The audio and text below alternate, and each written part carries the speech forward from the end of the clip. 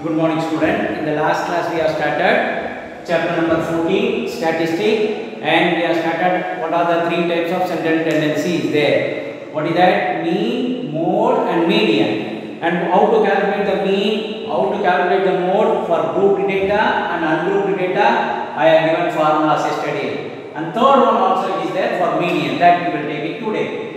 In median grouped data, what is the formula to calculate the median through grouped data? In a grouped data, m median equal to L plus of n upon 2 minus Cf cumulative frequency upon the frequency into h. That is the formula. What are the terms represent? L, lower limit of the median class. What is that median class? When we are doing problem, I will explain you. n upon 2, number of frequency upon 2. Cumulative frequency, cumulative frequency above the median class.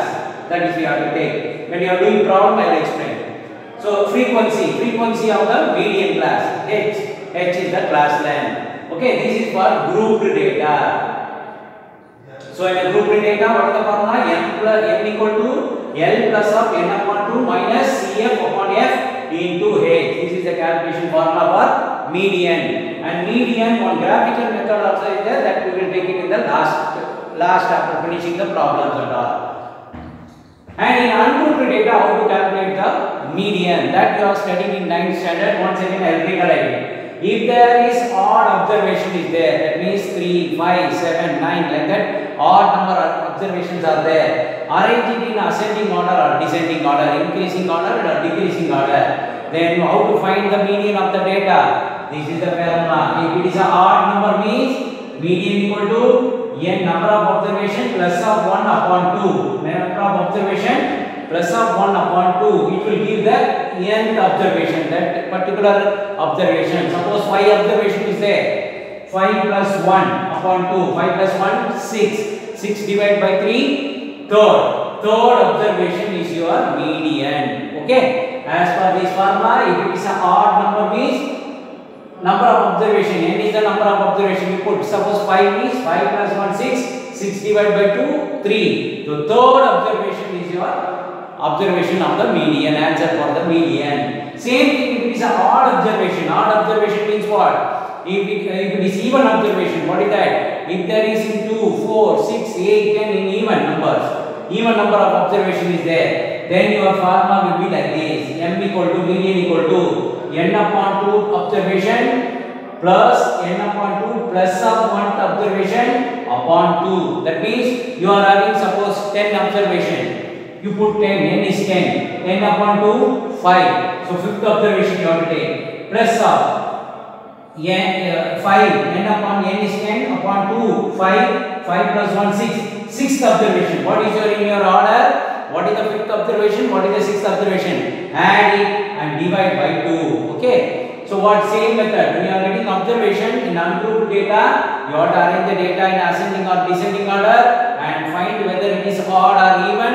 If it is odd means the middle term will be coming. Number of term plus 1 upon to this formula you are, you are getting means you will get that nth observation. And here it is a even number of observations are there in ungrouped data, arrange it in ascending order, descending order, then n, now how many even numbers are there?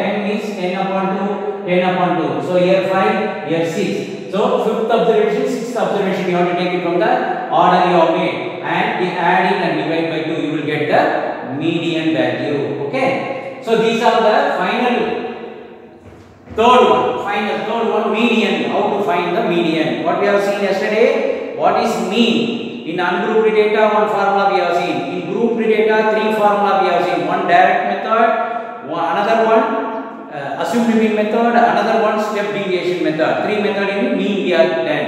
And in mode, one direct. It is ungrouped data, arrange the data in a descending or ascending order and which data is repeating maximum number of time that is your mode and by formula method I have given the formula in the last class now in the median third form of finding the average value. Median it is given by this formula. And the terms I have explained. What is this median class or modal class in the last class? What we have taken that when we are doing the problem I will explain you. Okay? So median formula method is this one. If it is a ungrouped data means for odd observation, for even observation. Then what is the relation between all the three central tendency? What is that? Median, mode and mean. It is given by a ratio like this. 3 times of median equal to mode plus of 2 times of mean.